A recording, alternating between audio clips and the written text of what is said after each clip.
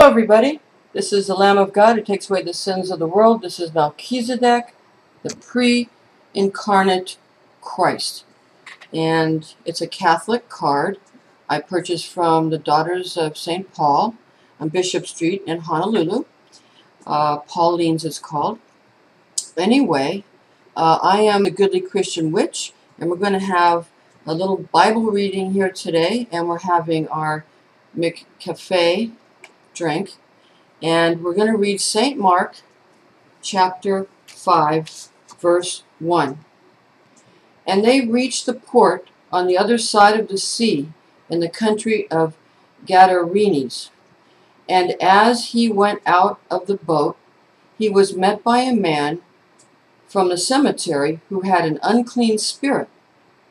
He lived in the cemetery, and no man could bind him in chains, because whenever he was bound with fetters and chains, he broke the chains and cut the fetters, and no man could control him. And always, night and day, he was in the cemetery and in the mountains crying aloud and cutting himself with stones. Uh-oh. When he saw Jesus from afar, he ran and worshipped him. And he cried with a loud voice, saying, what have we in common, Jesus, Son of the Most High God? I adjure you by God not to torment me. For he said to him, Get out of the man, O you unclean spirit.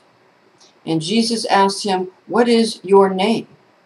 And he said to him, Our name is Legion, because we are many and he begged him eagerly that he would not send him out of the country.